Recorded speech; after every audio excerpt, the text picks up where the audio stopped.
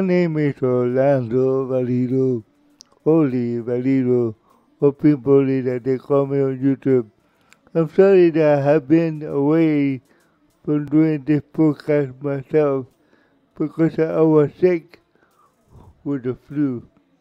Yeah, with the flu or cold, whatever you call it, you know. And um, it got me a week, so I had to stay away and I had to do the podcast with my computer voiceover. Yeah, my computer voiceover, which is that I can uh, translate any script, any word into a voice, and my computer will convert it into a complete voice of male, female, even kids alike. Oh yeah, it will do it. Wonderful, wonderful program. But I like to use my voice, and I don't know if you guys like to hear my voice too, because uh, when I do this, my voice will get better and better, and that's why it's a little bit exercise for me. And that is also why I do this, because I know it will do wonders for me. Okay, tonight I'm going to talk about two oldest uh, country music artists, and they are, let me show it to you, Archer slash Bug. Archer slash Bug. And I'm going to read for you their autobiography for you, and I hope you understand me completely, okay? So let's do that now. Let me go over here to my other screen. Okay, Archer and Park was an American country music duo composed of singer, songwriter, and Ra- Randy Archer and Johnny Park was a real name, okay? Randy Archer and Johnny Park. Dying into a Atlantic Records in 1994, the duo released his solo album. We got a lot in common. But yeah, that's for the first album, guys. We got a lot in common that year. The two of the album single entry, the Billboard Hot Country Singles and track charts were The Smoke at number 29 and the title track at number 63. Okay, let's now read the actual biography. Archer Slav Park consisted of songwriter, vocalist Randy Archer, born on February 20, 1959. Wow, my age, guys. Just to prove yourself. Right now, I guess. And Swainsboro, Georgia. H-W-A-I-N-S-B-R-O-R, Georgia. And Johnny Park was born on October 30, 1957 in Arlington, Texas. The two had a success writing songs for the country music artists and began working together in the same publishing and company.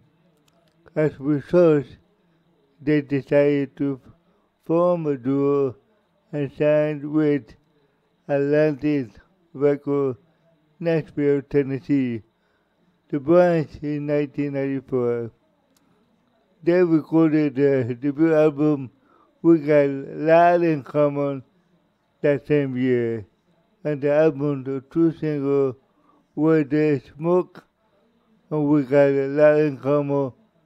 They both started the Billboard Hot Country Song that year, and the album received a mixed review from John P. McLaughlin. Uh, I have to spell this for you. M C L A U G H L I N McLaughlin. And a brother and a brother Providence who saw the album was a generic and deceptive uh, book of June and a book in June. Yeah, okay. Well, they're actually more like not the same, but more like overseas. As an uncredited uh, review, Gavin report described the title track favorably, saying that it will show a sense of humor on it. I wonder if they were funny too. I've never seen them, but I guess I'm going to look for it later on. Maybe I'll look over here on YouTube.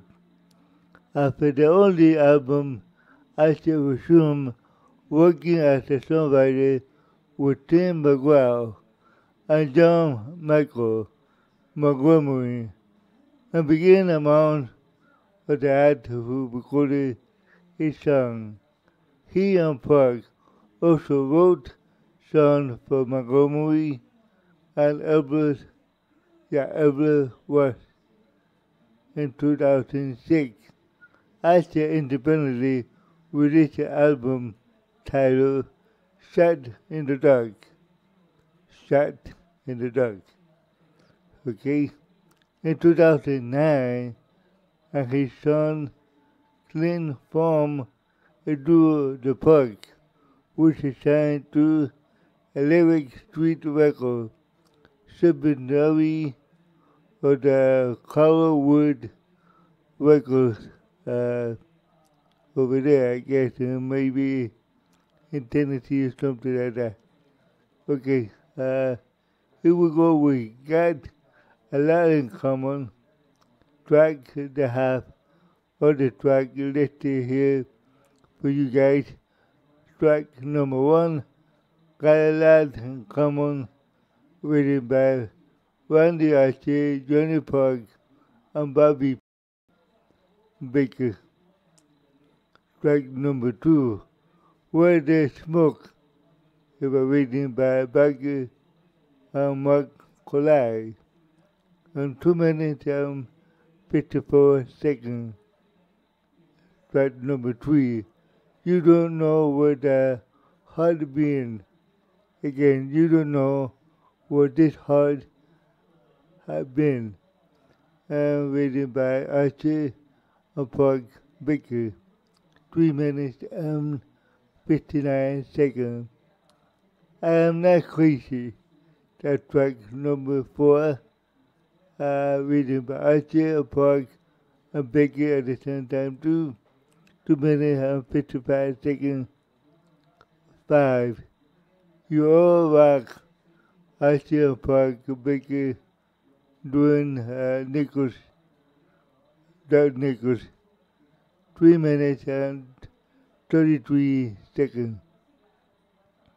Number 6. the man that I am what others, Debbie Worsley. Uh, this uh, first one, the guy last name it was uh, was A L D I I D E E, and Davy Wesley. And they wrote that song.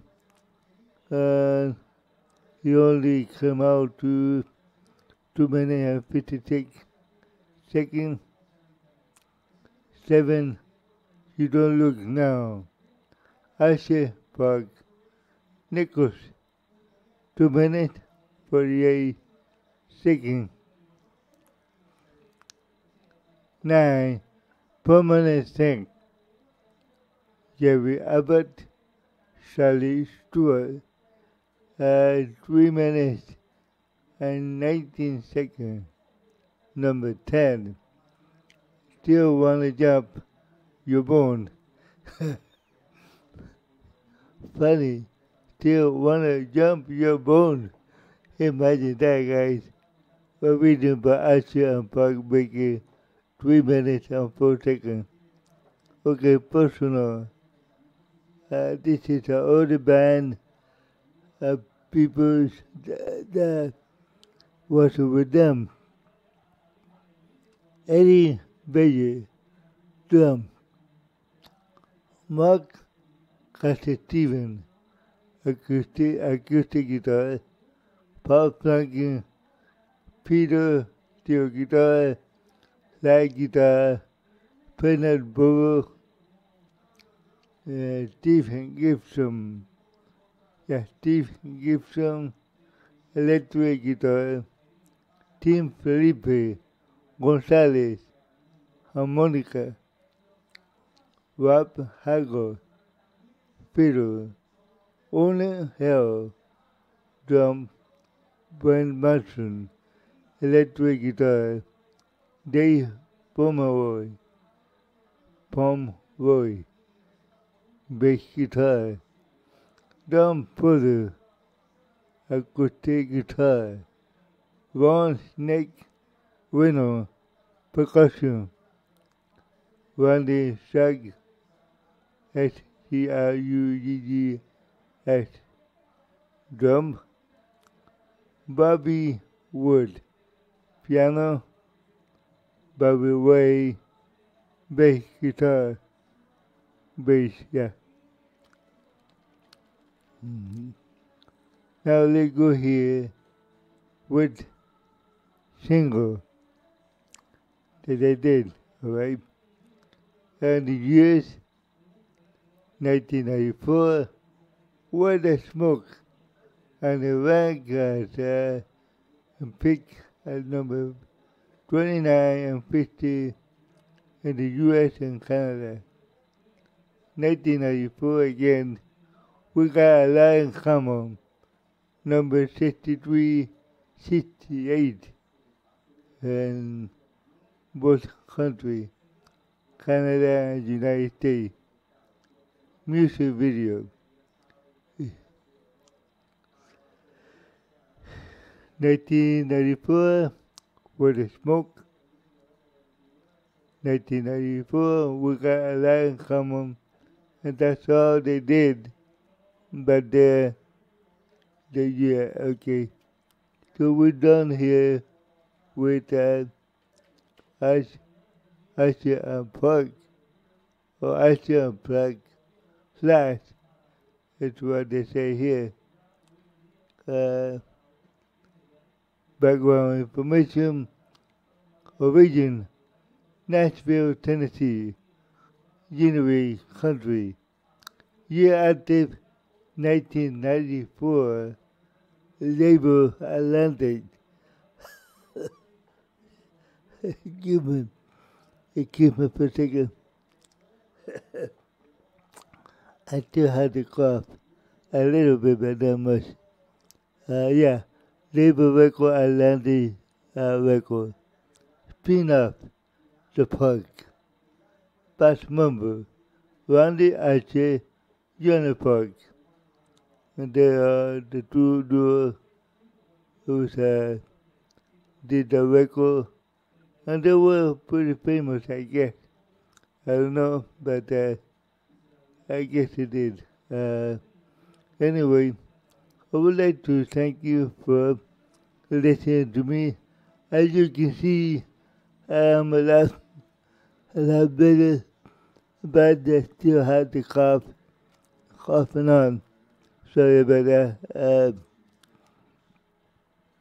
but I tried my best to do this for you guys, and I tried the best uh, to be on camera and to use my own voice because I know what it will do for me. It will do better, I will talk better, and maybe you understand me better too. That's why I do it. And also, I love uh, reading autobiography, not only of country music, but Spanish, Spanish singers like uh, pop, Latin, like reggaeton like uh, others, and even uh, rock and roll, which is I like it too. But in my background, I like more country than anything else. Why? Because it's down to your heart. It's more spiritual. It's more come down than any other type of genre. I would say. I would say. Um, and I guess uh, my best country music artist for all time was John Denver, Johnny Cash, uh, Willie Jenny, and other people. For me, they were my favorite singer, music singer. I guess they all passed on, but they still live in my soul, especially John Denver, because uh, John Denver got me through a lot of things back in middle school, high school, and it got me through my fear. I can tell you that much. But yeah, when the kids were listening to rock and roll, they were listening to disco, all that. Not me. I was listening to country, country music. Oh yeah, that's the difference between me and them. And those kids uh, that had it that way. I, I don't mean that uh, they have all the right to listen to rock and roll, listen to disco, I like it too. But for me, country music was the best of the best because it, uh, it keep me calm down. It keep me mellow. Yeah, very mellow. And also, you relax me so much that I can go sleep with it. Oh yeah, I can tell you that much, you know. Other than that, guys, I would like to ask you a couple things uh, for me as well as for you. Pray for yourself. Pray for your family. Pray for your neighbor. That believe it or not, that your next door family. Why they are the next door family? Because they are in the next door. Your other family might, might be far away to able to help you, to help you in um, any emergency. I would say, pray for your country. Pray is no more pandemic, no more wars, no more corruption. We don't need that. We need to live in peace and happiness like we should be, like um, sisters and brothers of the universe that we are. And we all are. And I do believe in that. And let me say a couple of things more before I go off. I have been, as a handicapped person that I am, I got a lot of experience with God. Yeah, God. A lot. I would like you to listen a little bit to my my lifetime story that I have here on YouTube too. And you will see why I am so close to him and him close to me.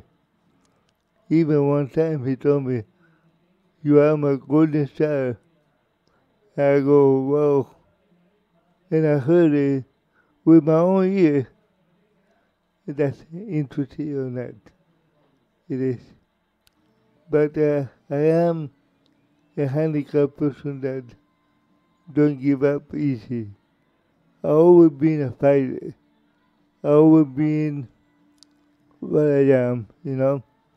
And I love acting too. Believe me or not, I do love acting, being in the movies, and stuff like that. But unfortunately, being handicapped, uh, I haven't been able to do anything seriously as a major lad. I do anything like that. But I have done my thing, like uh, a play, a low budget movie that was uh, on it, and I played the pimp, the pimp character. They came out really, really, really funny. You can see here on my YouTube channel, I got a couple clips that I saved. Uh, it was magic, it was a miracle that I saved this uh, clip so you can see it. Uh, today I came from uh, the doctor, from a dentist, and they are doing something in my mouth. I need two crowns, two little crowns, so they're getting me ready to put two little crowns because the one that I have now is too old. That's a, I got it a long time ago, so it's time to change it. It hurts a little bit. You know, when they put that needle in there with anesthesia, and you go, Ugh. yeah, that's what happened to me. Also, one day, lay me, lay me down backward to work on me. That is not a good idea either because uh, to work on me it's a little hard because uh, I can stroke on my on my own saliva or on water. I can get stuck. I mean, if you know what I mean. Uh, I can drown. Uh, that's the right word, I think. I can drown with my own saliva and water. So they had to put two tubes to drain the water out at the same time they were working on me because I can drown on, on the water. yeah. but that's only me.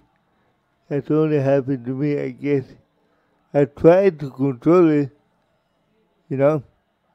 I tried to control that, but it isn't easy for me to control that. Uh, I guess I had to deal with it and deal with it and try mentally to control. At some point today I did. I, tried to think of something else. You know what I mean? And that helped a little bit, I guess. You know? So, guys, I would like to thank you for listening to me, for watching me, and I see you next time on Holy Podcast. God bless you, all of you. Bye bye now.